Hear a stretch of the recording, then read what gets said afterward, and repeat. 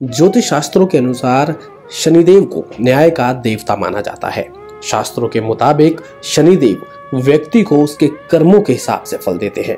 यदि किसी व्यक्ति की कुंडली में शनि की प्रतिकूल दृष्टि पड़ रही है तो व्यक्ति को जीवन में बहुत सी परेशानियों का सामना करना पड़ता है।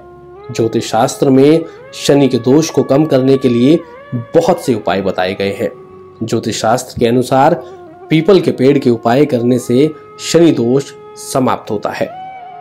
हिंदू धर्म में पीपल के पेड़ का विशेष महत्व है। शास्त्रों के अनुसार पीपल के पेड़ में त्रिदेव का वास होता है।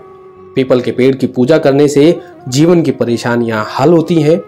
आज के इस लेख में हम आपको पीपल के पेड़ के कुछ ऐसे अचूक उपाय बताएँगे, जिनसे शनि दोष दूर होगा और जीवन में सुख समृद्धि होगी।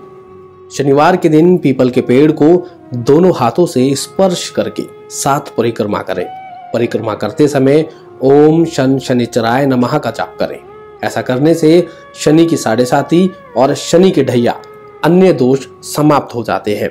शनिदेव को नियमित रूप से स्पर्श करने से जीवन की सभी परेशानियाँ दूर होती हैं और घर में लक्ष्मी का वास होता है।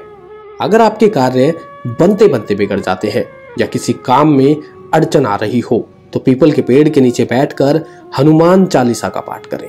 ऐसा करने से संकट मोचन की कृपा से आपके जीवन में सभी बाधाएँ दूर होंगी और आपको सफलता मिलेगी।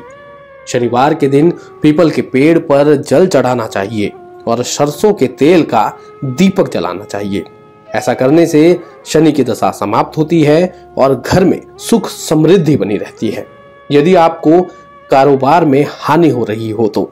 शनिवार के दिन दूध, गुड़ और पानी मिलाकर पीपल के पेड़ में अर्पित करें। ऐसा करने से व्यापार में सफलता मिलती है और आर्थिक स्थिति मज़बूत होती है।